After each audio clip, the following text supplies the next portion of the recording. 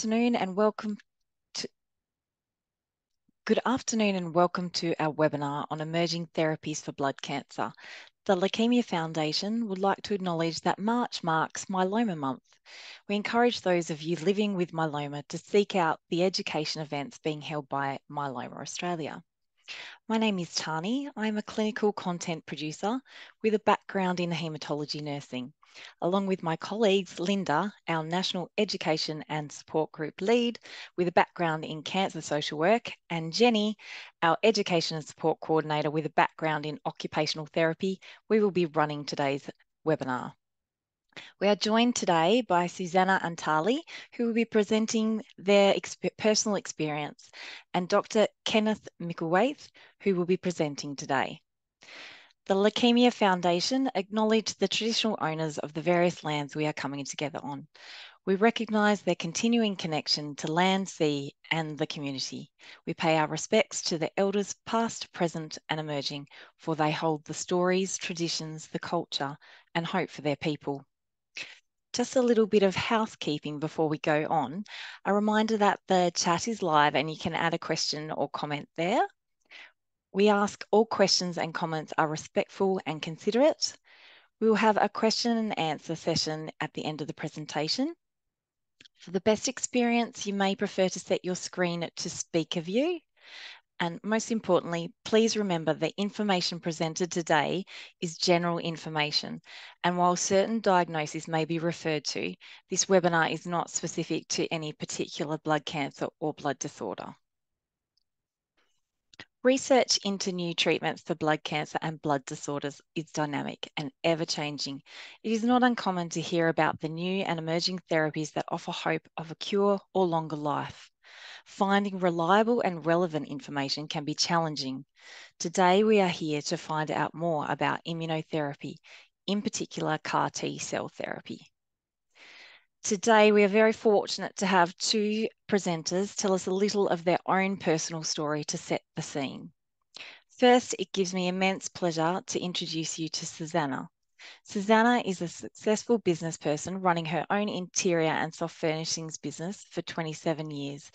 She also has two children and a husband who have all been affected by her blood cancer diagnosis, treatment challenges, and decision making.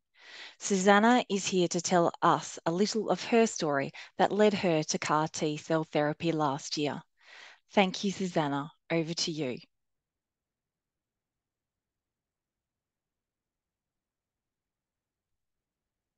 Hey, Susanna, you need to come off mute. Sorry.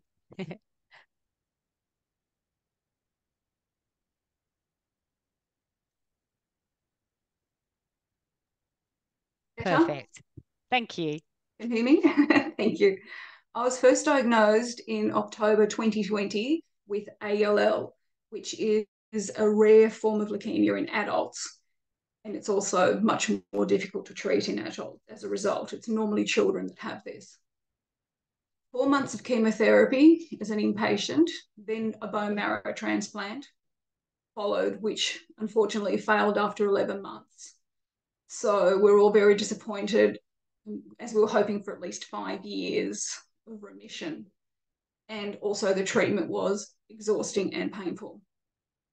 The way it affected my family. My son was halfway through his exams, HSC exams, when I was first hospitalized, hospitalized, and my daughter deferred her uni studies to care for me and to help keep my business running.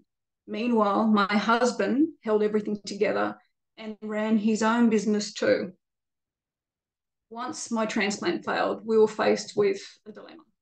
Ideally, my hematologist wanted me to have CAR T therapy, as they believed this would give me the best chance of survival. Unfortunately, I did not qualify for the CAR T trial, primarily because I did not have a large enough leukemia burden, and of course, due to the fact that I had what they call children's leukemia, and the cutoff age was 25 years Another option was to travel to Boston in the US and have the treatment there, as it was readily available there. However, that would mean a cost of approximately a million dollars that we would have to wear. We actually did consider this an option because we were running out of choices. In early 2023, it was confirmed that I was able to have CAR T under compassionate grounds. And um, I was the first patient in New South Wales to have it for ALL. It's quite quite interesting. And I felt so incredibly lucky. And also, Medicare in Australia fully covers the costs of this treatment. Obviously, I'm still here, so it's working quite well. and I, I really don't think I would be here without it. It had run out of options, there wasn't much else to do. And also, once again, the side effects from CAR T were so much milder than from a transplant. I, I breezed through it. Of course, in this three years, my family's life as well as my own has changed dramatically. I'm now in the process of actually closing down my business, which, as you mentioned, I have had for 27 years. It's just no longer important and I really don't have the energy for it anymore. I mean, I don't know how long they'll be in remission because I believe the success rate is about 40% for CAR T.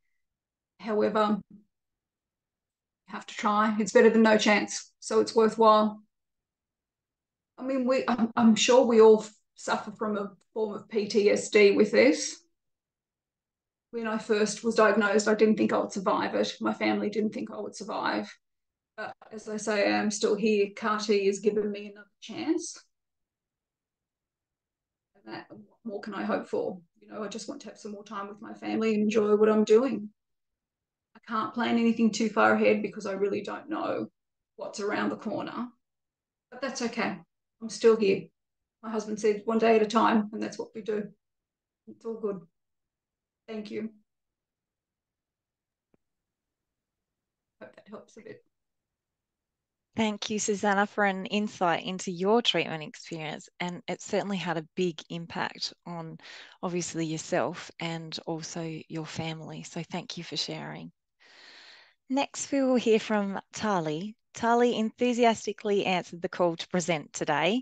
She's recently shared her story for the Australian Cancer Survivorship Centre after undergoing CAR T cell therapy, she has a passion to help others.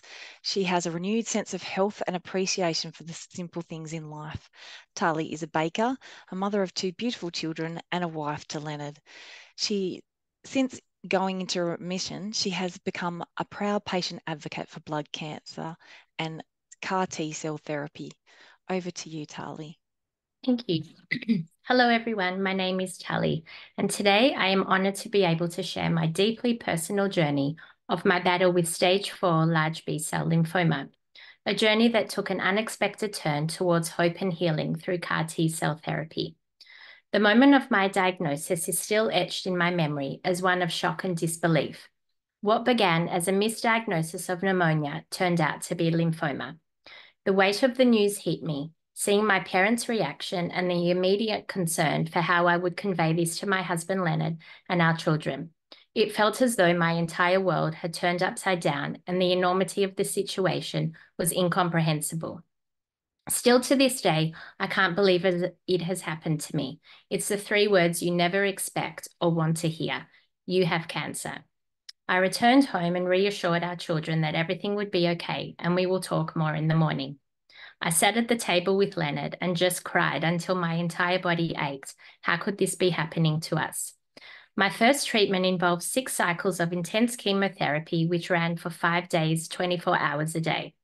Being away from my family at this time for a week every three weeks was the worst part. Being in and out of lockdowns intensified this situation as four out of six treatments my family couldn't visit.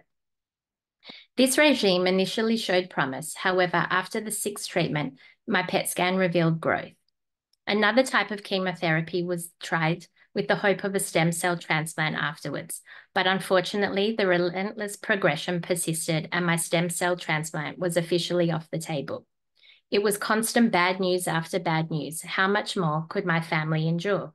The look on their faces when I told them the results of the scans was indescribable. The constant disappointment and fear was overwhelming. It was at this point I actually asked my husband if he thought I was going to die. Cancer is like dropping a stone in a pond. The effects ripple out to everyone in your immediate family. They all feel the impact from worries and sadness to dealing with changes in daily life. Friends and extended relatives also feel the ripple, wanting to help but not always knowing how. My illness affected routines, emotions, and plans for the future. But even in tough times, the love and support from everyone around me created ripples of hope and strength as we navigated through the challenges of cancer together. But that's when the possibility of CAR T cell therapy entered the picture, a concept entirely foreign to me at the time. But upon learning about CAR T from my hematologist, I soon learned it was like Pac Man eating away at my cancer cells. A newfound sense of optimism ignited within me. I told myself, this is going to be it. It's going to work. It has to work. It was my only hope. So once again, my cells were collected, specially packaged and sent off to Los Angeles to be modified to understand how to recognize and attack my lymphoma. After three rounds of cell depleting chemo, I was ready for my new supercharged cells. The infusion didn't take very long at all and was rather uneventful. After 11 long days in hospital, I was finally allowed to return home. Fast forward to my 30 day PET scan, any traces of ominous black spots had completely disappeared. No evidence of disease were the words I heard. It was a moment of sheer disbelief and joy in the hematologist's office, where Leonard's jaw dropped at the extraordinary transformation he could see. He couldn't believe what he saw. It's a miracle, he said. Being able to go home and tell our children that it worked was the best feeling in the world. It was the moment we had all been praying for. Sorry. Reflecting on the journey, if given the chance to choose again, CAR T would undoubtedly triumph over traditional chemo. While not without its challenges, the ease and efficacy made all the difference. To the incredible individuals responsible for creating CAR T, I extend my deepest thanks and gratitude. CAR T is not just a medical intervention, it is the reason I'm alive today. If medicine could manufacture miracles, they did so with CAR T. CAR T was my gift and my only hope of remission. At my lowest point during treatment, simple activities like walking a few steps felt like a monumental task. We've just had our first family holiday something people don't realize how special it is until it's gone, and something I thought I would never get to experience again. If you had asked me if this was possible in the depth of chemo and diagnosis, I wouldn't have believed you. When it rained, I looked for rainbows. When it was dark, I looked for stars. it may be hard to find your silver lining during cancer, but it's there. If you look for it, you will find it. I feel like the luckiest, unluckiest girl. Thank you.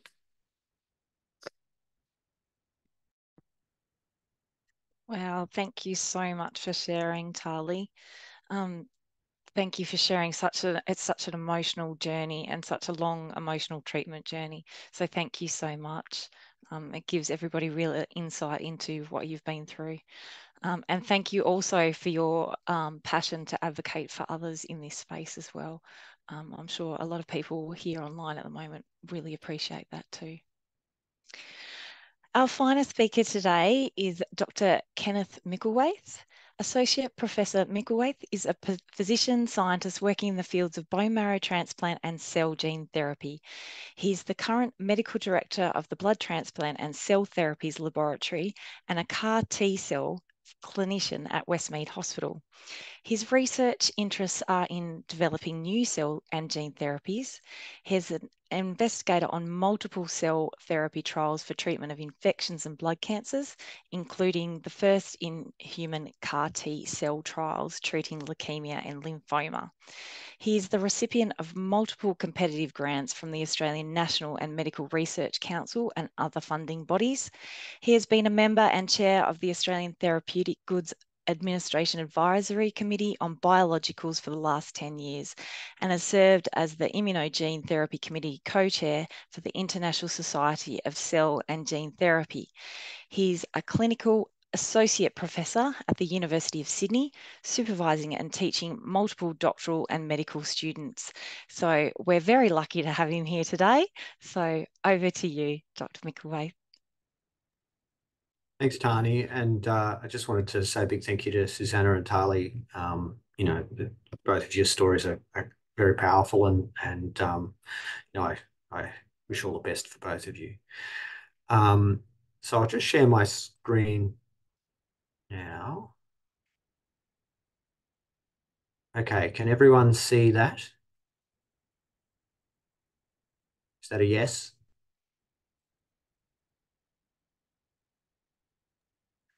All good. Excellent. Okay. All right. So look, uh, uh, um, I mean, good afternoon, everyone. I, I'd like, really like to thank the Leukemia Foundation for inviting me to talk to you all today about what I think is one of the most exciting advances in not just um, hematology, but in medicine um, in the last 20, 30 years. Um, and that is immune therapies for blood cancer. Now, um, I think it's fair to say that we're in the midst of a scientific revolution where people suffering from blood cancers resistant to standard chemotherapy are now being cured with immunotherapy. Now, broadly speaking, immunotherapy is any type of therapy that uses substances to stimulate or suppress the immune system to help the body fight cancer, infection, and other diseases. And this, as you can see here from this list, takes in a whole swath of, of, um, uh, of treatments. Um, but our time today is limited, and so I'm going to provide you with a very brief introduction to the normal immune system, and then rapidly focus on T cell immunotherapy, especially, uh, particularly to genetically engineered immunity in the form of chimeric antigen receptor T cells, otherwise known as CAR T cells. Now, I should emphasize that the immune system is a, a highly complex network of cells, organs, proteins, and tissues whose main job is to prevent infection. But in a nutshell, we are an organism at war with the myriad organisms all around us. Um, our body is a fortress and we're walled in by um, the lining of our lungs and our gut and our skin. Um, and we have uh, an organized army of immune cells, otherwise known as white blood cells. Uh, there are general troops that form the first line of, of defense known as the innate immune system. And the cells in this group they use very broad pattern recognition to see gross differences between us and um, threatening pathogens and respond promptly to those pathogens. Um, anyone who is a patient or who is a family or, or close friend of a patient will almost certainly be fami familiar with one of the most important of these innate immune cells called neutrophils. Um, you will know that uh, they play an important role in particularly preventing bacterial and fungal infections with chemotherapy. And many of you may have been watching the neutrophil count like a hawk, knowing that it needs to be at a certain level before it's safe for you to go home from hospital after, after chemotherapy. But today we're more interested in the specialist white blood cells that make up what is known acquired immunity. Now, um, this includes particularly B cells um, that fight both bacterial and uh, viral infections, and T cells whose main role is actually to fight viral infections, but also acts as a, a general coordinating the entire immune system and and and um, uh, helping fight and dampen down any exuberant uh, immune responses that could uh, potentially damage the, the body. Now, one of the important parts of the acquired immunity is that um, the cells involved uh, acquire a, a, memory of any new infections that they encounter, which enables them to more rapidly respond to uh, reinfection uh, if it's encountered again. And this uh, underlies the, uh, the basis of vaccination, but also is a hint at some of the potential benefits of treatments like CAR T cells, where in some cases you can actually have persistence of those CAR T cells over the long term, and they can actually respond to any potential emergence of the tumor that, that they initially uh, treated. So in normal health, B cells primarily act by producing antibodies. Now, these antibodies are proteins that coat bacteria or viruses, and they block entry of, of those infections into tissues and cells. And they also guide other parts of the immune system to destroy the threat. um, almost acting like a, a, flag to, to alert the rest of the immune system that the threat is, is present. T cells, on the other hand, have specialized receptors that recognize very short parts of, of viruses shown to it by an infected cell. The T cells then actually respond to that infected cell by destroying the infected cell and thus prevent further spread of the virus. Now, in uh, treatment, antibodies to, to specific cancer associated proteins have been developed by immunizing mice uh, with that particular protein, isolating the B cells and then immortalizing them in the laboratory and using them to produce infinite amounts of what's called a monoclonal antibody that targets the cancer protein.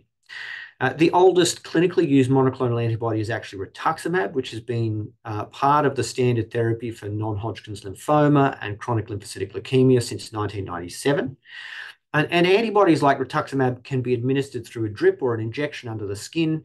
And, uh, you know, in a similar way to uh, fighting a viral infection, they activate the immune system to destroy the cancer cells. When combined with chemotherapy, monoclonal antibodies like rituximab improve survival in lymphoma and leukemia patients compared to chemotherapy alone, as you can see here with this survival curve um, over a sort of a, a 10-year period in people with diffuse large B-cell lymphoma.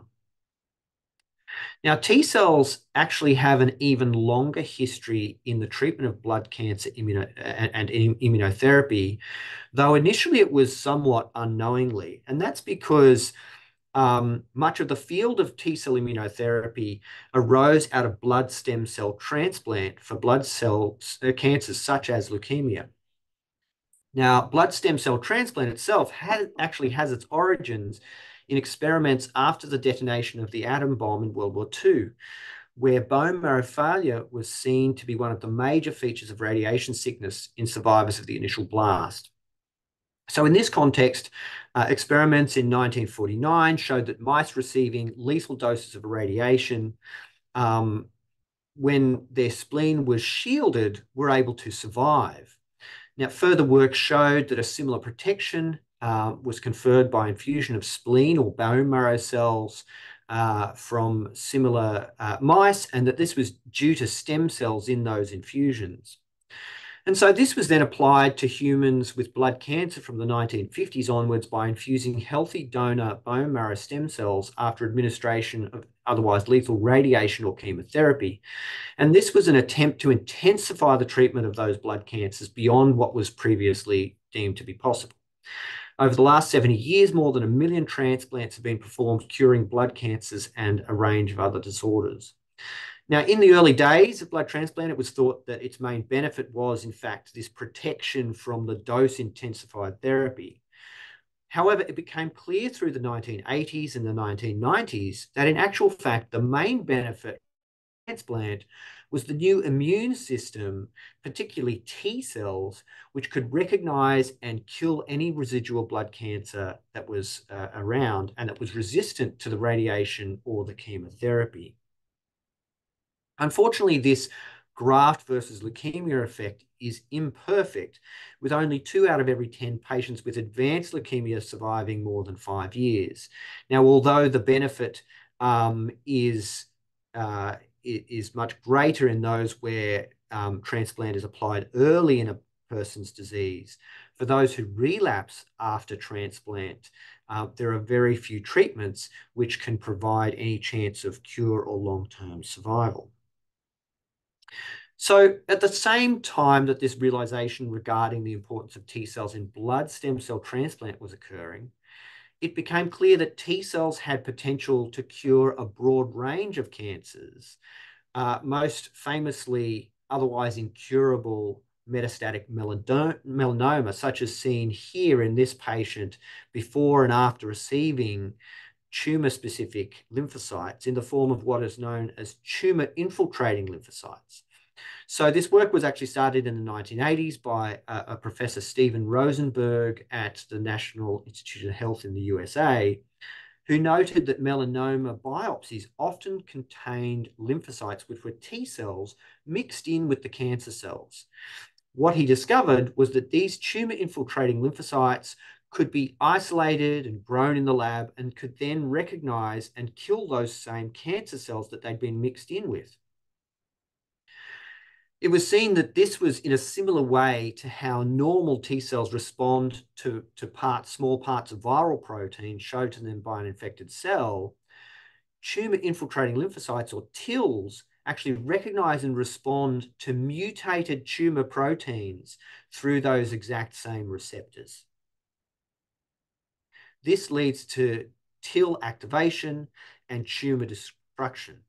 Now, in the setting of stem cell transplant, donor T cells um, will sometimes recognize mutated proteins in the leukemia cells, but they also have another way of recognizing um, leukemia cells in that they can recognize small differences in the proteins of the recipient compared to the donor.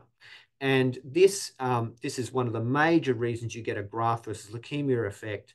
And um, also, unfortunately, underlies what's called the graft versus uh, host disease. Unfortunately, though, many tumours, such as blood cancers, lack cancer proteins, or there aren't enough differences between the donor and recipient proteins that can be recognised by the lymphocytes. And hence, the, the tumour cells are actually invisible to the immune system.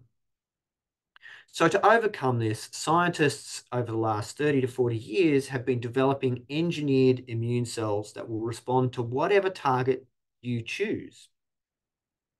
And there's now been approximately 15 years of experience using these engineered immune cells in the form of CAR T cells to cure blood cancer, such as this patient with advanced lymphoma, as you can see here on the left, who went into a complete remission on a clinical trial of CAR T cells targeting a, uh, a protein called CD19.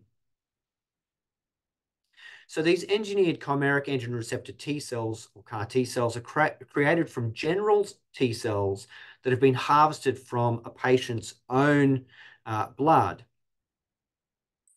Harvested T cells are reprogrammed with a new genetic code which provides instructions to the T cell to make an artificial receptor which is expressed on the T cell surface and which can um, enable the T cell to see the protein of interest on the surface of the tumor cell. When a CAR T cell encounters a tumor cell with a protein target, it becomes activated and destroys the tumor in the same way as an ordinary T cell will destroy a virus infected uh, cell. So CARs have now been designed for almost any tumor that you care to mention, but the most advanced CARs target a protein known as CD19, which is on the surface of B-cell lymphoma and leukemia. And this has led to cure of individual patients with treatment refractory blood cancers like acute lymphoblastic leukemia, as seen here with the first uh, recipient of the CAR T cell product now known as Kymriah, Emily Whitehead, who is more than 10 years uh, post-treatment and is free of leukemia and is now an advocate of, for funding and further development and research into novel therapies of blood cancers. And this fantastic response has been repeated in larger clinical trials with relapsed and refractory ALL, uh, producing greater than 50% uh, two-year disease-free survival in children with, with um, ALL that's relapsed, especially after allogeneic stem cell transplant. And this is um, particularly uh, encouraging because the historical um, survival of these people was was close to was less than 20%. So this has led to CD19 specific CAR T cells receiving regulatory approval for routine treatment of B cell malignancies in the United States, Canada, Europe, Britain, and Australia. And there are currently six CAR T cell products approved by the FDA, all of them for blood cancers such as leukemia, lymphoma, and multiple myeloma, with more products for a range of tumours uh, in clinical trials. It should be noted that there are only three standard of care commercial CAR T cell products currently available routinely in Australia, all for B cell leukemia and lymphoma, with none currently available for myeloma, despite there being clear efficacy in people who've relapsed after multiple lines of therapy. And this is emblematic of the, the barriers that exist to CAR T cells and the downsides of CAR T cells. Um, there are significant hurdles to be overcome before CAR T cells can achieve their full potential in not just blood cancers, but a whole range of medical diseases. So firstly, while CAR T cells are better than chemotherapy in relapsed lymphoma and can be a miracle cure for many with otherwise incurable leukemia or lymphoma, such as this individual who is one of the first patients to receive Kymriah for chronic lymphocytic leukemia and is well over 10 years um, uh, uh in remission. Um, CAR T cells are not a miracle cure for everybody, with nearly 50% of people with diffuse large B cell lymphoma relapsing over the first 12 months uh, post therapy. The other downside of CAR T cells is that they also commonly have quite dramatic and potentially fatal toxicities, such as neurotoxicity, which is characterized by language difficulties, disorientation, headache, and drowsiness. And you can see here this a really very good example of, of the kinds of things that you can see in a person who's received CAR T cells, a CAR T cell called Axi-cel, and how their writing went from normal on day four to uh, very much chicken scratching on day five. Now, fortunately, most of these um, toxicities can be effectively managed with a, a, a well um, characterized and standardized treatment. And you can see here the, the recovery in, in this individual's writing only 24 hours after receiving um, that appropriate therapy. But there are a range of other sort of toxicities that can um, cause uh, cause you know quite a lot of um, stress in in patients and their their carers. Um, and it's important to understand that in actual fact, the toxicity is, is intimately linked to the actual um, way that CAR T cells actually work. In that, what happens is that CAR T cells will see tumor, they will become very activated by the tumor and kill the tumor, but at the same time, they actually produce a whole range of inflammatory hormones called cytokines, which if you imagine having a really bad flu infection, um, that the, the feelings that you get when you have a really bad infection are primarily due to cytokines. And the levels of cytokines in CAR T cell therapy are many times higher than a typical infection. And so this can then mediate things like fevers, low blood pressure, difficulty breathing, um, and then the neurotoxicity, particularly uh, as, as mentioned. Um, there are also some other less dramatic, but still potentially important uh, toxicities, particularly a, a, decrease in the blood counts, which may require regular blood transfusions, um, regular growth hormones to keep the white cells at, at an acceptable level. And this can actually persist for quite some time after the, the CAR T cells have been um, administered, even several months after the CAR T cells. The other major problem with CAR T cells is that due to their individual nature, um, the manufacture is very complex. It involves collection of starting material from a patient in Australia, shipping of that all the way over to the US, where they then genetically modify the T cells and expand them in the laboratory. They then freeze them and do a, a raft of quality tests and then they ship them back to Australia where the individual then receives those CAR T cells. Um, so this process takes four to six weeks and requires a robust chain of identity and um, is, is sort of uh, one of the reasons that, um, you know, people can require additional therapy while waiting for the CAR T cells themselves and can potentially run into problems with either disease progression or toxicity from that treatment while waiting for the CAR T cell manufacture. So not only is the manufacture of CAR T cells complex, but the whole patient journey from referral through to treatment and follow-up involves coordinated interaction with multiple medical specialists and support staff, as exemplified in this flow chart, which um, is actually from Peter Mac uh, um, Cancer Centre in Melbourne, but we have similar ones here at here at Westmead where I work that that uh, that um, involve the the very long and complex journey encountering multiple multiple people. So the complexity of this CAR T-cell delivery, combined with the unique and potentially fatal toxicities, requires the establishment of specialized dedicated services such as the Westmead Immune Effector Cell program, which includes multiple staff with experience and expertise in managing that patient journey.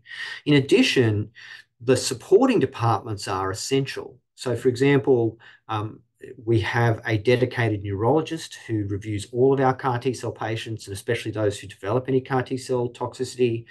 Um, we regularly provide education to the intensive care unit, to the emergency department, to nursing staff and medical staff who are involved in the care of CAR T cell patients because it is so important to be able to recognize and manage um, the toxicities uh, to ensure optimal chance of people um, being cured with CAR T cells.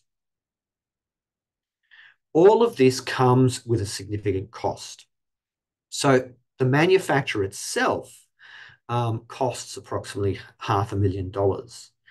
And um, this combined with the need for specialized um, teams to manage people with CAR T cells means that um, the delivery of CAR T cells in Australia at the moment is restricted to just a handful of specialised centres across Australia in the major um, uh, major cities.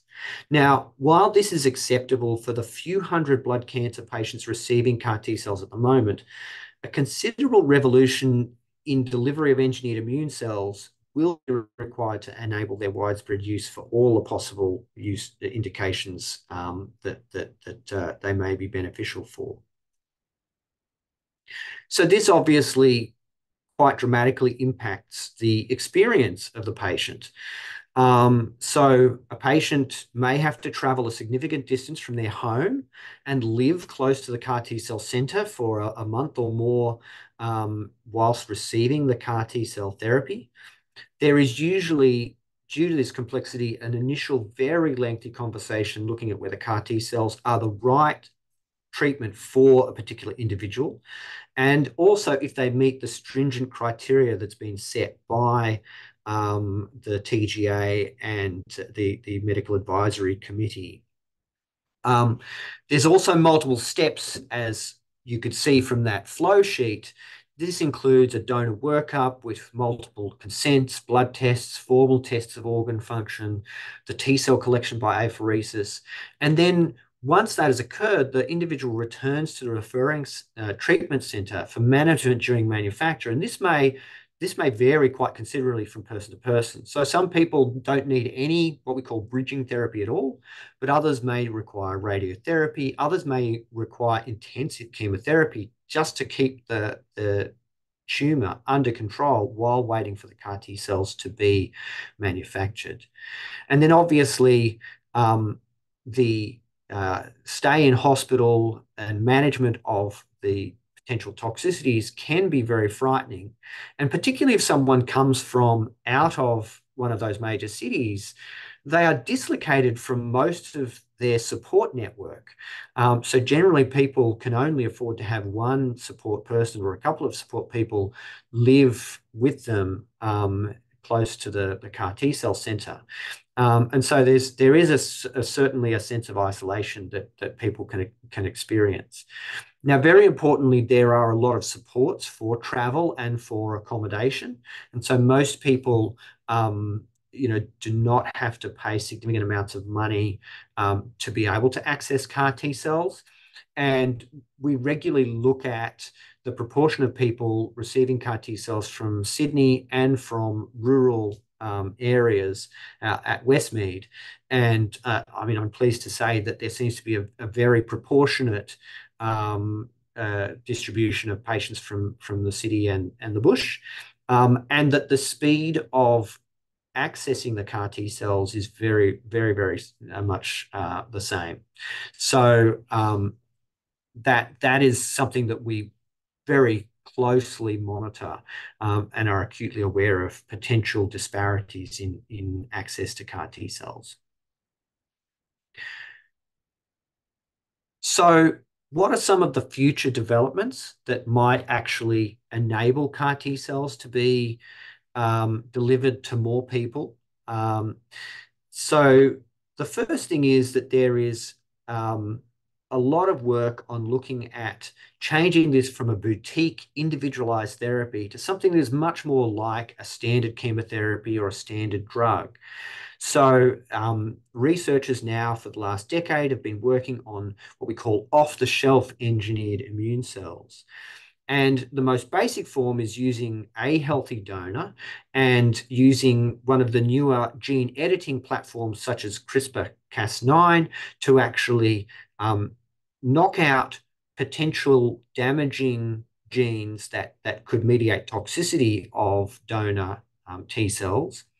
Uh, and to insert the actual chimeric receptor. These can then be banked in multiple um, aliquots and then can be just taken when the patient needs uh, needs the CAR T cells and delivered uh, over a very short time frame, circumventing many of the complexities of CAR T cell delivery at the moment. In the future, there uh, is hope that we won't need to repeatedly collect T cells from healthy donors, but we will be able to create a resource of stem cells that could then actually be able to infinitely produce as many CAR T cells as we need um, for, for as long as we need them. Um, again, being able to bank these in aliquots and deliver them as needed to multiple recipients. One other potential way of actually overcoming many of the barriers to CAR T cell delivery is to manufacture them on site at the hospital in which a patient is being uh, treated. And this um, is actually a reality at the moment, and it's being um, being looked at in a, in a number of clinical trials um, using semi-automated or automated manufacturing platforms where essentially the scientists, the manufacturing scientists simply hang the immune cell, the collected immune cells on the machine. The machine then does all of the work in, in generating the CAR T cells. And over a very short period of time, ranging from a week to two weeks, those CAR T cells are then ready for uh, administration. Of course, one of the dreams of uh, hematologists and scientists is to avoid that cell manufacture altogether and to be able to actually deliver particles or um, viral vectors directly into a patient and have them so that they actually home into T cells.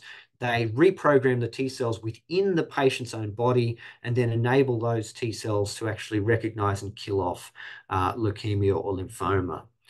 Um, at the moment, this is very much science fiction, but the tools to do this are already in existence. And um, there are, in fact, some clinical trials which are, are, soon to be initiated in this very space. And so this is a very exciting um, you know, area. So look, I think I'll just conclude by um, just summarizing that immune therapies are revolutionizing the treatment of blood cancers. Um, CAR T cells in particular are leading the way in producing you know, quite dramatic cures in, in some people with previously incurable blood cancers. Um, however, there are quite a number of obstructions, particularly the complexity of delivery the, and the cost um, and the toxicities of the CAR T cells, which prevent them, them achieving their full potential. Uh, but there is this, the field is evolving quite rapidly, and there are new products and methods of delivery that promise to overcome these obstructions and accelerate the cell therapy revolution. With that, I'd like to, to thank everyone, um, and I'd be happy to uh, answer any questions that you might have. Thank you, Associate Professor Micklethwaite for your comprehensive presentation. That was amazing, really good insights into how the immune system actually works, which is really helpful. Um, I think there's some, you provide some really great insights into how these treatments actually work. But also, I love the fact that you've touched on the practical issues surrounding access um, for people to these. Um, and it's it's great to know there's so much up and coming trials into all different types of blood cancers. So thank you again, and thank you again to Susanna and Tali. Um, your presentations were just amazing. But I now invite Linda to present your questions that you have asked. Thank you, Tani, and thanks to Ken Tali and Susanna again. Um, you know, Ken, I think you've um, certainly encapsulated. It was a big brief, um, a lot to share, and um, making a very complex topic as less complex as possible. Um, um, very much appreciated, and Tali and Susanna for bringing that information to life through your own personal experiences. Um, Ken, can I um, ask you to stop sharing um, your screen and we'll jump into the questions. There are several that have come through um, the chat live and also many pre-submitted questions. Um, please know we'll do our best to get to as many as possible. Um, many have already been covered in the presentation, so um, we're really going to be focusing on some um, some uh, new information and and the and the um, questions that haven't been covered. Um, also recognizing that everyone's circumstances are incredibly individual. Um, and this is really general information for you to feel empowered to go and have conversations with, um, you know, your treating teams and, and your families. Um, and um, you know, to give you the information that you need to make informed decisions. Um, I think one of the really critical questions that always comes up is, um, is this treatment for me? Um, so how do, Ken, I'll, I'll direct it um, firstly to you and then invite Susanna and Tali if you want to um, provide some insights for how this related to you personally. But how do clinicians, so doctors in particular, um, decide who is a suitable candidate for this type of treatment? Um, and look, if we I guess we've spoken really a lot about CAR T, so perhaps we use that as the as the example. So I think there's there's several layers to that. So the first is that just like any other therapy, we try to use evidence um, to uh, inform decisions about whether or not it's a, a, good therapy for an individual. Because it's it's CAR T cells are not perfect; they're a part of an over overarching you know suite of tools that we have to uh, to to treat um, patients. And so we first of all look at the evidence, um, but there is also quite strict um, criteria for eligibility for CAR T cells. Um, so at the moment, there are three products that are uh, approved in Australia. Um, these are for uh, currently for relapsed diffuse large B cell lymphoma, where someone has received several lines of therapy in and relapsed or refractory to those several lines of therapy, including an autologous stem cell transplant, unless um, they are ineligible for the transplant or they have progressed whilst receiving the second line of chemotherapy and, and hence can't get uh, an autologous transplant. So, yep. so that's diffuse large B-cell lymphoma. Um, there has also recently been um, mantle cell lymphoma, uh, again, two lines of therapy, one of which has to in, include a particular drug called a, a BTK in, inhibitor. Um, and then there is approval for um, uh, children and young adults with relapsed acute lymphoblastic le leukemia yeah. up to the age of 25. The TGA has approved um, another product for um, adults with acute lymphoblastic leukemia, um, but that is currently going through the process process of negotiations regarding the price and who is going to pay for it and how that's going to be paid for. So it's not actually widely available for that at at this particular time, but hopefully within the next you know couple of months it will also be available for acute lymphoblastic leukemia in adults. And again, it's sort of multiple relapses, particularly after an allogeneic stem cell transplant. And I, I should note that, um, particularly with acute lymphoblastic leukemia um, and in children, an allogeneic stem cell transplant is still the um, most effective way of achieving a cure. And so that's one of the reasons it's only used after an allogeneic stem cell transplant if they can have a, a, a transplant. Um, we've had some people in the past who have really wanted CAR T cells rather than the transplant, um, but they weren't eligible. And in fact, the transplant was the best treatment for them. Mm-hmm. So that's that's sort of important to, to sort of understand that CAR T cells aren't necessarily just because they're new, it doesn't mean that they're actually better than all of the other treatments that we have. Is there, in addition to the particular diagnoses and the particular treatments that people have had, because we know that once people are looking at making decisions around CAR T or immunotherapy, that they've had multiple lines of treatment. Are there other health considerations that you look at, um, for example, in terms of the person's own um, health status, um, age? Um, I think a lot of people are, particularly with uh, blood cancer being uh, predominantly an older person's um, diagnosis. What you know, what could you comment a little bit about how you look at age and yeah. comorbidities in the context of decision making? So, so age is not a contraindication. Okay. Um, the it's mostly about organ function and a, mm-hmm. a person's level of, of actual function. We know that if someone is bedbound, that the CAR T cells will probably kill them. So we don't give give CAR T cells to people who are, who are not able to get out of bed. Um, we know that if people have poor heart function, that there's a, a, a strong chance of very severe that they won't cope with with toxicity. Um, and so we have cutoffs for heart function and for kidney function and liver function, but we do not have a cutoff for age. Yep. Now, it should be noted, however, that as you get older, there is an increased chance of getting the neurotoxicity um, and more severe neurotoxicity compared to a younger individual. But that's the main difference, actually, um, between sort of older and, and younger people. The other sort of issue, obviously, is is with age. Sometimes our general fitness will drop off, and so if you do become sick and, and need intensive care for any reason, whether that's the CAR T cells or or infection or or other sort of complications, that your road to recovery is often longer than a, a young, a fit individual. So those things need to be, you know, considered. But age itself is definitely not a a um, a, contraindication. Great, thank you. Yeah, it's really taking that holistic view of the person. Um, Susanna and Tali, um, are you able to share with, with us a little bit about, I guess, that that decision making process that Ken's talked about what they look at from a clinical perspective. You know, from a personal point of view, what was that like for you both? And what were some of the really major considerations that were important for you in making in making these this decision? I invite either of you to uh, jump in.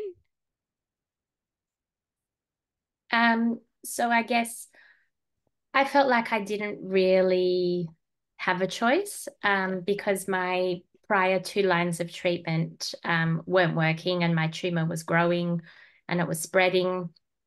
Um, so when I was told that, you know, I was no longer able to have a stem cell transplant and my next one was CAR T, um, even though I didn't really know much about it, but I knew, you know, the potential side effects, um, especially with the neurotoxicity, like it, it it did scare me a lot, but I kind of felt like, well, I don't I don't really have a choice. I mean, yes, everyone has a choice, but it wasn't a choice for me. Um, I felt like it was, yeah, it, if it worked, fabulous, and if it didn't, well, you know, then I would deal deal with it then. But um, yeah, I felt like it was going to be my only hope.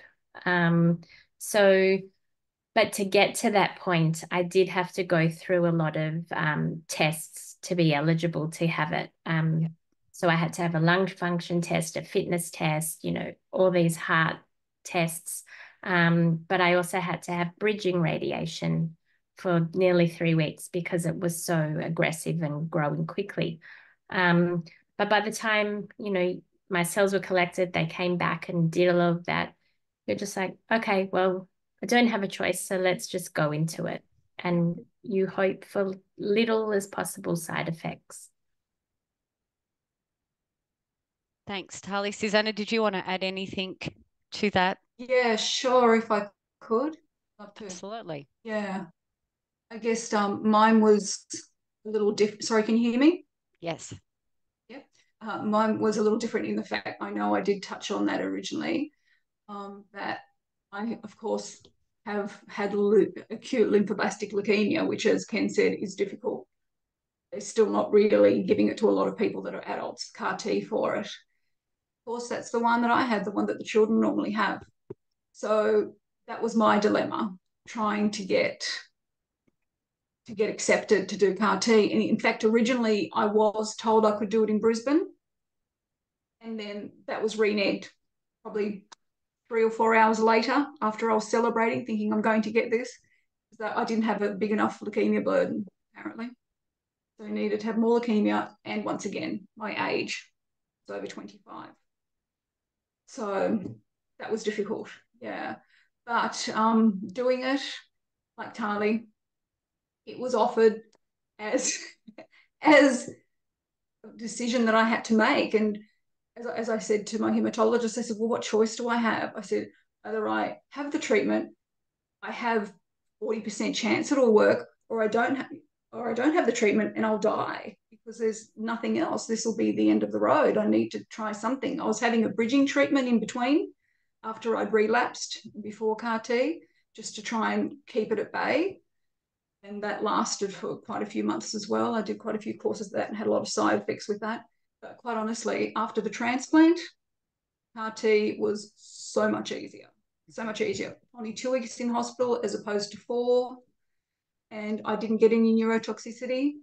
I was very fortunate with that. I know that a lot of people do, but for me, it, it was so much easier than than doing than doing the transplant, and I'm so glad I did it. it. was well worth well worth it. Thanks, Susanna. That certainly sounds like that is a common experience. It's, you know, it's where, as I think we've talked about, at that pointy end of decision making where a lot of other treatments haven't worked. And so it's, they're really big, big decisions to be making. Mm. Um, just you know talking uh, Ken you touched on the toxicities and, and Susanna and, and Tali have then around uh, CAR T specifically um, what do we know about obviously this being a new and emerging field um, what do we know about late and long term effects of CAR T? Do we have any um, good information now to sort of give us some indication of what people are experiencing many years down the track from treat from this type of treatment? Yeah, so look, I mean, the the we now have you know 10 plus years of data from the early clinical trials using a variety of different CAR T cells. Um, most of the individuals who have remained in remission during that time are living healthy, normal lives. There are some potential long-term uh, side effects or complications. So the um, the CAR T cells target not just the cancer B cells, but they target healthy B cells as well. And so there is the you can have a long-term B cell deficiency, and that means you can have low antibody levels in your blood, uh, and in some cases you will you have an increased risk of infections mm-hmm. over the long term, and you can have um, a, a uh, need need to have regular healthy donor antibody infusions, so immunoglobulin infusions. So that's one of, I guess, the the commonest. Um, the Low blood counts that can occur after CAR T cells usually resolve by about three months after the CAR T cells.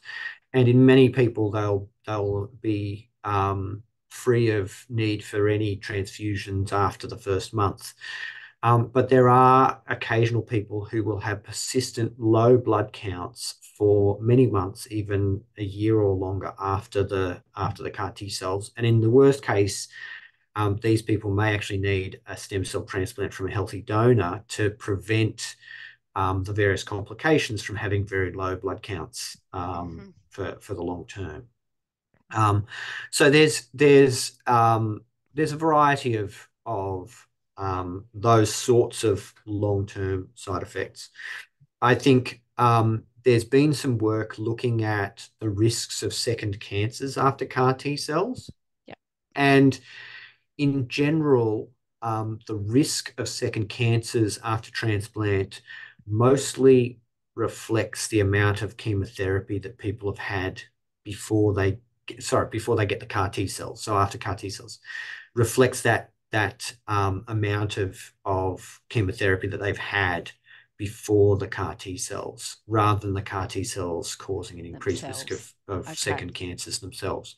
So that's sort of probably the, the most important thing, and that's I think that's one of the reasons that um, there are um, there are sort of trials that have been implemented trying to look at earlier use of CAR T cells um, to try and reduce the amount of chemotherapy that people are, are exposed to over their, um, their their treatment journey. Great, thank you. Talia or Susanna, would you like to add anything there before we move on to the next question? You can just yay or nay. At the moment. Great. Um, Ken, you talked, um, you covered in your presentation very uh, broadly um, about the, the sort of three big blood cancers, your leukemia, lymphoma, and myelomas. Um, what's happening in the blood disorder space? So, um, do you know of, um, you know, or where are we at in the um, uh, treatment of, you know, the, those MDSs, MPNs in clinical trials? I think one person had commented in our pre-submitted questions that she was having some type of immunotherapy for aplastic anemia. So, you know, what we're seeing is sort of this concept being, you know, really spreading far and wide um, into different disease streams. Uh, do you are you able to comment much on what's happening in some of those other um, uh, blood cancer or blood disorder um, areas? Yeah, so I mean, immunotherapy is is something that um, that sort of plays a role in a variety of of uh, blood sort of cancers or blood disorders. Um, I mean, even in multiple myeloma, there's a class of drugs called immunomodulatory drugs. Um, so thalidomide and lenalidomide, one of the ways that they work is to somehow modulate the immune response to the myeloma cells. Um, so there is a form of immunotherapy in nearly everything. And then uh, obviously the big one is allogeneic stem cell transplant, um, which is used for a whole range of of uh, blood cancers from myelofibrosis um, to acute myeloid leukemia and myelodysplastic syndrome. Um, and, and we know that the main benefit from stem cell transplant is actually the immunity transplant that you get from the donor. And that, and that is really kind of the, you know, one of the oldest and, and still the most effective for acute myeloid leukemia uh, immune therapies that, that exists. Um, but I think people are probably more interested in are there, you know, CAR T cells down the Mm. line for any of these things. Um, so myelodysplastic syndrome, myelofibrosis, I'm, you know, I don't think that there's any good, any any good sort of um, CAR T cell treatments on the horizon for those, unfortunately. Mhm. Acute myeloid leukemia, um, there is work. The problem with acute myeloid leukemia is that the potential targets for CAR T cells are also widely expressed on your normal healthy stem cells. And so um, CAR T cells may be able to cure the leukemia, but they will also knock out the healthy stem cells. And so there are some really clever uh, things that are being done by researchers where they're actually combining CAR T cells with a stem cell transplant, and they're actually engineering the stem cells uh, from the healthy donor to um, to not have the target of the of the CAR, and so you co-infuse CAR T cells and stem cells, and that then will eliminate the the leukemia, and the healthy stem cells will will then sort of you know replenish the the, the normal blood. So so there's some quite interesting things happening there. Um, but there is still a lot of work to be done. There's still a lot of developments um, in a whole range of those those diseases that that's being being explored. So um, there's there's quite a lot of a lot of room to grow here. Yeah, yeah, great, thank you. Um, of, um, talking about, you touched on the um, sort of access um, um, of these treatments. Um, and we work a lot with people who are living in the rural, regional, remote areas, um, who often, we know, often have uh, uh, poorer outcomes because of their access. Um, in terms of how can they be advocating for themselves with their treating teams, you know, to um, be connecting with these, you know, specialist centres. You know, what can people be doing to ensure that that that they are um, engaging with those specialist services at the right time and not missing out on these on these critical treatments? Yeah, that's that's quite a difficult one. I mean, we have tried um, to sort of provide education to referring specialists um, to ensure that people who would benefit from CAR T cells get referred. And we, in general, we've we've tried to encourage, even if the patient doesn't quite meet the criteria, we we've encouraged the referring specialists to try and and refer them early, um, especially if there are issues like distance and whatnot. Then then being aware of them and and being able to talk to the referring specialist and discuss them helps us keep an eye on them you know, so we've had a few people that have been referred and they haven't quite met the criteria, but we've mo monitored them over, you know, several months and then they've become eligible and we've been able yep. to very rapidly, um, you know, get them to CAR T cells. So I think that's, you know, that's one of the things that we're trying to do. Um, I think from a patient point of view, it's really just a matter of raising it with with your treating specialist. You can say, look, are CAR T cells right for me? And you know, I, I think that's that's something that you you need to you need to discuss with your treating specialist because they will know you best and they'll know your particular um, situation. Um, but then, obviously, coming to meetings like this and learning a little bit more about about what they are and what they can possibly do, um, and going and reading those resources that you're posting on the the chat, um, which will give people a bit more information about, you know, when CAR T cells are, are used and whatnot will help patients actually advocate for themselves because not all not all referring specialists do necessarily like we we try our best but we can't necessarily get to every single referring specialist and there, i'm sure there are some who we've not you know been able to communicate directly with who if the patient comes to them they'll say what about car t cells? And the referring specialist can then pick up the phone and give us a call.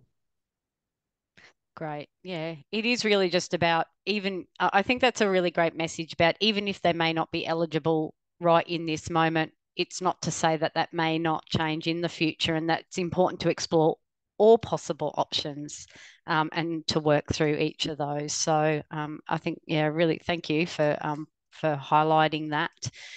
Um, in terms of practicalities, you know, um, Susanna and Tali, for you two, as you embarked on um, CAR T treatment, what were some of the practicalities that you had to take into consideration? You know, be that around your work or your families or um, how you, you know, live day to day. What were some of the sort of key things that you needed to um, make adjustments to, I guess?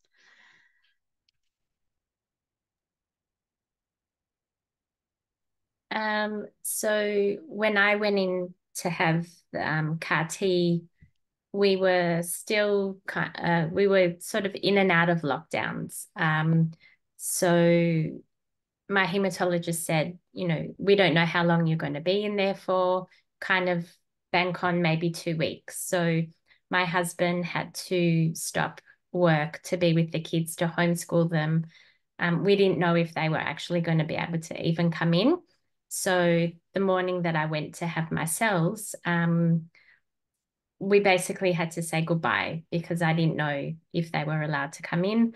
Um, so there was a lot of kind of planning to do with that and also get them comfortable with the fact that, you know, I'd be gone for, well, we didn't know, it could have been up to a month. Um, I obviously couldn't work anymore when I was there. Um, yeah, my husband had to take time off. There was a lot of stuff to kind of organize before you even went in, and then you didn't even know what was going to happen. Um, yeah, wasn't easy.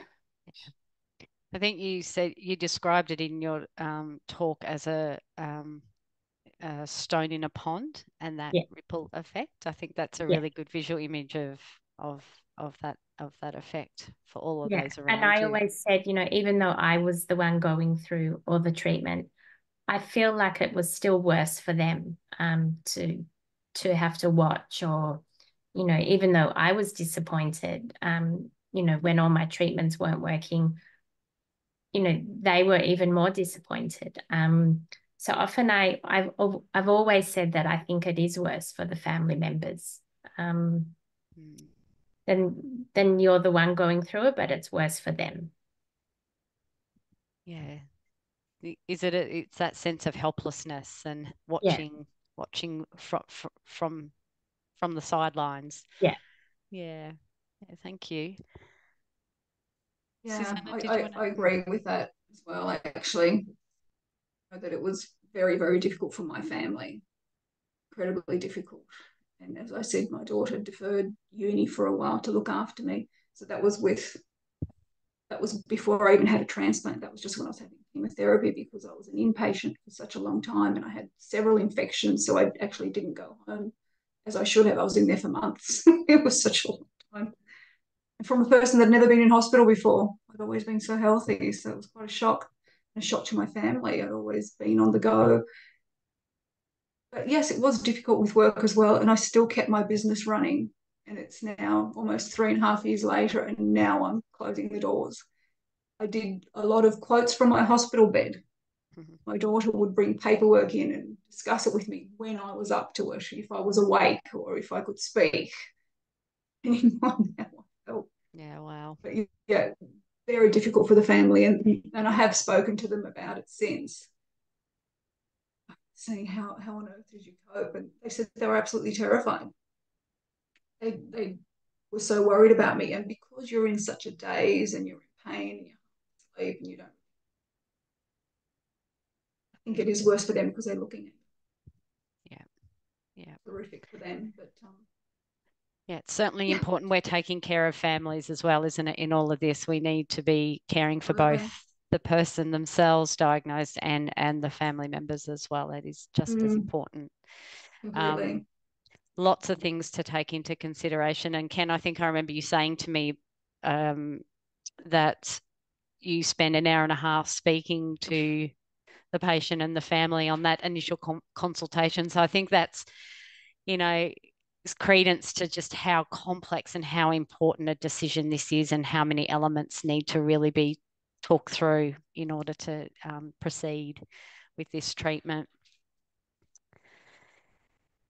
Um, can I ask, you know, talking about some of the practical and logistical elements, um, I think, um, Tali, you may have touched on this a little around the costs incurred um, or were there any costs incurred? Because often people, um, you know, particularly um, in our day, in, uh, in in this current climate where we're in a, you know, a cost of living crisis and with blood cancer, often people can't work, so there's a reduction in income and increase in costs. Um, is there were there any added costs associated with you engaging in um, this type of treatment?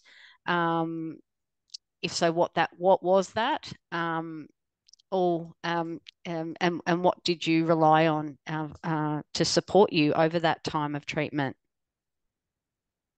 Um, so, like Susanna said before, you know, um, they were prepared to pay up to a million dollars to have the treatment. Um, you know, and so were we. Um, we were thinking you know, we'll sell our house. If we have to go to the US, we'll do it.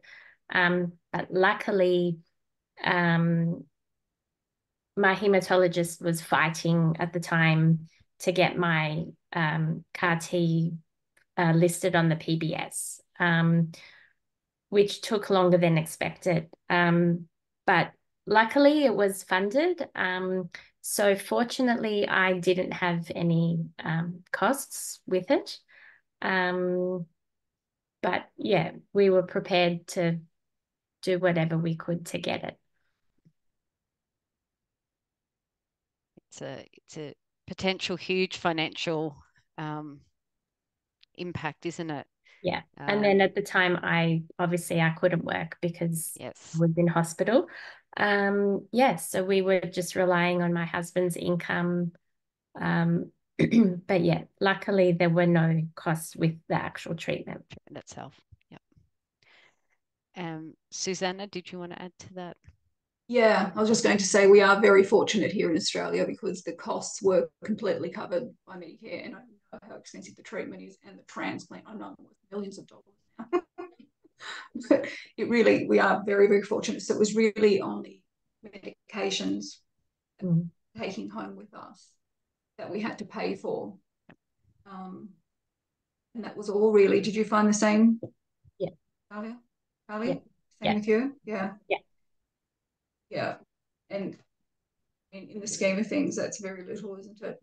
Mm. It's just difficult if you can no longer work and be well, that, that makes it hard. yeah that's where the financial strain often um, is when you when you're unable to to earn an income and then um, I think we yeah certainly touched on those people living regionally and rurally who need to um, relocate to to mm. in order to um, uh, access those treatments. Um, we hear a lot about um, you know CAR T in the media um, or immunotherapy more broadly, and and then and CAR T, um, and and often particularly people when they've um, um had multiple lines of treatment and are, and are looking at other options, um, and wonder if this is for them, and they have hope of that this will be the you know the the um, miracle cure, um, miracle treatment. How do you help people, um, and can I'm directing this to you around, how do you help people moderate their expectations around this type of treatment? Um, you know, uh, just, you know, with what we hear and then what the reality of, of the treatment is. Yeah, I mean, look, it's I think it's natural, particularly with a new and I mean, this is just this is science fiction, right? We're hmm. reprogramming mm. our immune system genetically engineering our immune system to fight cancer for us. I mean, it's it's it's when you think about it, it's yeah, it's well, it's my it's mind blowing, really, what, what we're doing here.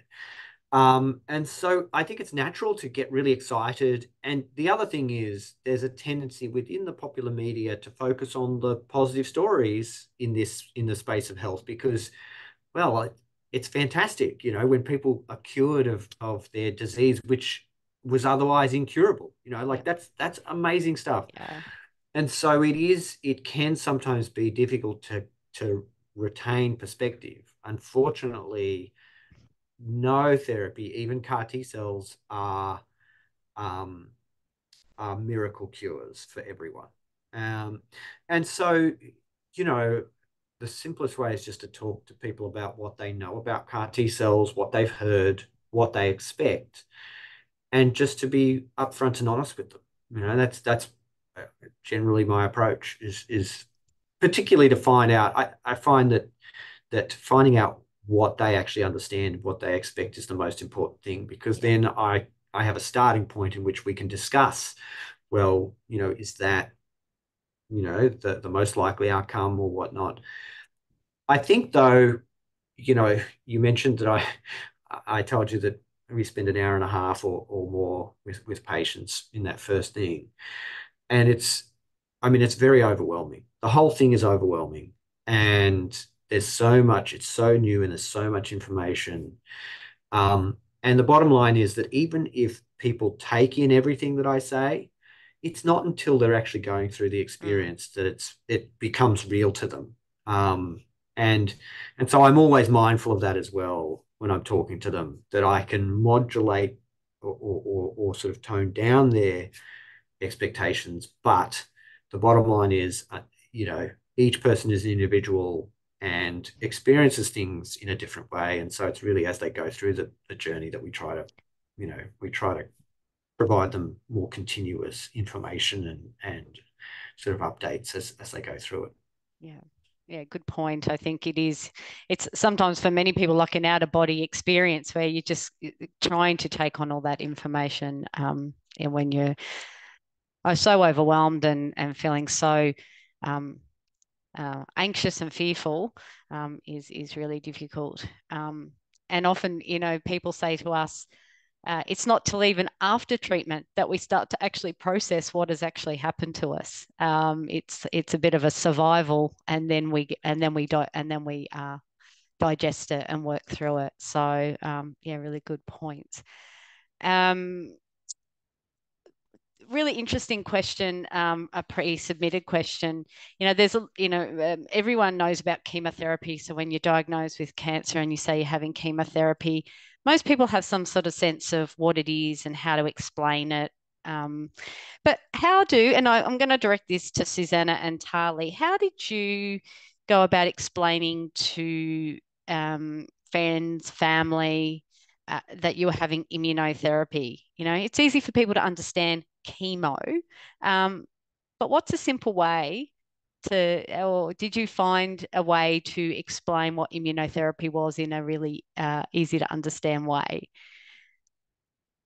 Um, I, I, think I did, and it sounds very similar to what Tali had actually originally said, where I just explained it as going to have another port put in my chest, and then I was going sitting in the chair for you know hours upon hours, and then my cells were going to be, and I saw it being boxed up in an ice box, and a courier came to pick it up as I finished my treatment and whisked away to the States for three weeks to be um, you know, altered so that they were cancer fighting cells.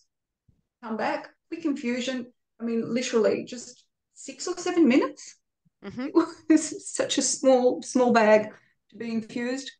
And then they start doing their work, just targeting the cancer cells and killing them. That was yeah. was the easiest way that I could think to explain it, and that's the way that I saw it. Is that how you thought it was as well, Tali? Yeah, um, yeah, very similar to you. That's what I would tell them, and then so they'd often ask, "So what's the difference?" And I'd say, "Well."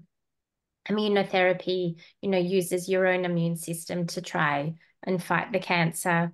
Um, so most of the time, you know, it won't attack the good will only attack the bad.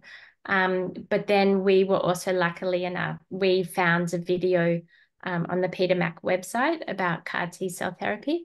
So, and it was only, you know, maybe a two minute video. So sometimes if they really didn't get it, um, we'd send them the link to the video and then they'd say, yeah. oh, I get it.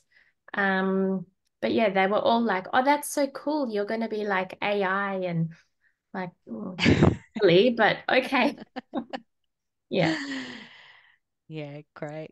Um, yeah, great strategies, and yeah, those um, you know, lean on those resources that are available, um, like yeah, that video through Peter Mac to help it, you know, make make what is a really really complex um, uh, topic, you know, as simple as possible, um, you know, for yourself and for others. So, um, one last question, and then it's we we are at time. Um, you know, obviously we know that um, you you showed us a picture of the future. You know where you know the possibilities of where CAR T is going, um, and um, how we can how it can be more efficiently produced here locally, and then obviously looking at the you know developing it in the person themselves with the person themselves. Um, we know that's going to take a, a, as you said, I think a revolution in order to to to get to to that place. What can we be doing? And you know, Susanna and Tali, um, um, please, um, you know, comment. What can we be doing to advocate for better access and funding, um, not just as individuals, but as a blood cancer community? Um, just a, a nice, nice one to end on. Um, I feel like I know there's a lot of processes that it goes through before it kind of gets to the government approval. Um, I feel like maybe those processes need to be looked at. Um, and I also feel like I think if organizations used, I guess, people's personal stories like we are doing today, um, maybe then the government and the other bodies will realize that, you know, it shouldn't only be about the cost of the treatment. It's it's people's lives and their families' lives that they're actually deciding on. Um, yes, I know the money is important, but at the end of the day, so many people are dying either waiting for the treatment to be approved or because it simply isn't approved. Um, and you know, it, it, it's kind it's not good enough that it comes down to the cost of the treatment. Mm. Susanna. Yeah, I guess that unfortunately that's what it, it is at the moment, isn't it? Ken said mine's not even approved yet. The treatment that I had for my for my type of leukemia. So it, it is still very difficult for people to access it.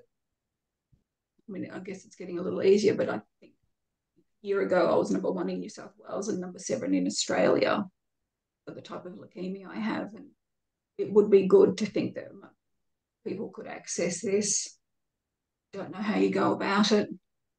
I really don't, but yeah, sure, it's it's such a tricky one.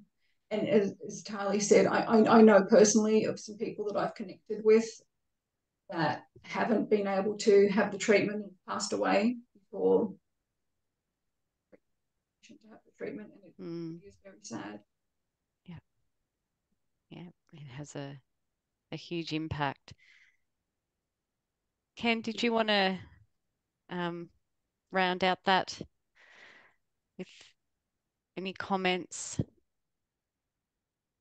Well, so I mean, this is this is actually a very difficult question um, because you know there's so many steps involved in actually developing a new therapy and then proving that it actually works, and then getting it um, so that it actually can be available for as many people as might benefit. Um, the, you know, the, um, I think one important thing is involvement in clinical trials. So these are only available now because people over the last decade have willingly gone into clinical trials before we knew that these were as effective as what they are.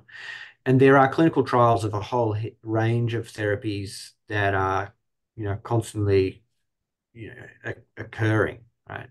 And so I think one one thing I would just encourage anyone who is in a situation where they are undergoing treatment um, for any, almost any disorder is always consider whether or not a, there's a clinical trial available for your disorder and whether or not it's something that you want to go in because when you do that, you're contributing to yep. future generations. And so that would be something I guess, you know, I think it would be it would be important because as I said, we are here today because people have taken that step in the past and have have thought about the future and thought about people in the future and, and wanted to make a difference to to people down the track. So that would be, I think, the major thing I'd talk about. Um, and yeah, so and and so that would include some of these newer ways of delivering CAR T cells yeah. that might, you know, will will dramatically reduce the cost and increase the availability, um, such as the local manufacturer or off the shelf, those sorts of things. I think it would be important for people to consider. Um, and and lots of those are actually going on at the various CAR T cell centers at the moment. So um, so yeah, so so I think that those were the, the kinds of things I'd encourage everyone to think about clinical trials, especially, and, and how they can contribute to the future development of, of these revolutionary therapies. Great. I think that's a really um, lovely message to to finish on. Um, I think uh, earlier we we obviously call the clinicians who are leading these trials as trailblazers, but I think the participants, the people who are willing to participate in clinical trials are the real trial trailblazers.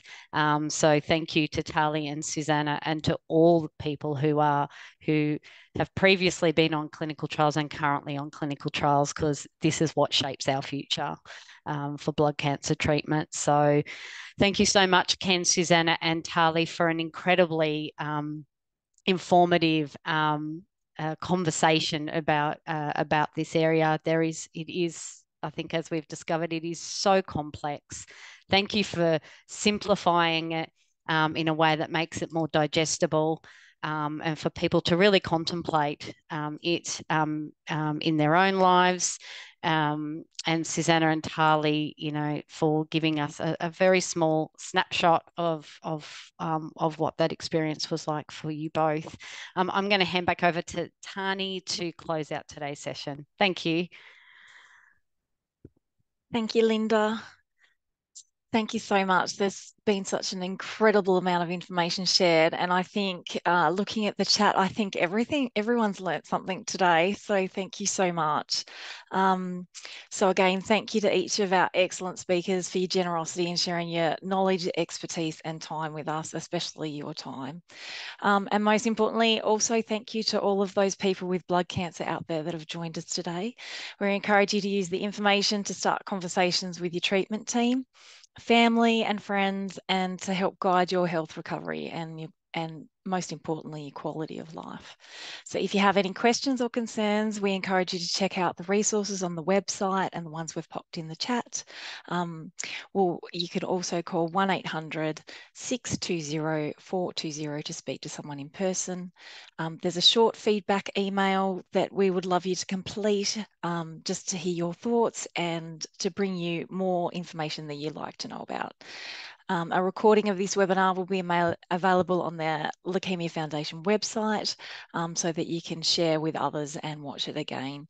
Um, so that draws our webinar to a close. Thank you very much and goodbye for now.